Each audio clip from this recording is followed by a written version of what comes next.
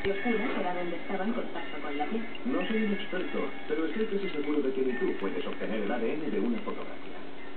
¿No? Pero... ¿Y el tamaño del dedo? Oh, vaya, sí, eso es brillante. 82 milímetros de circunferencia. Vale, El mío es 62, así que es muy grande. O muy gordo.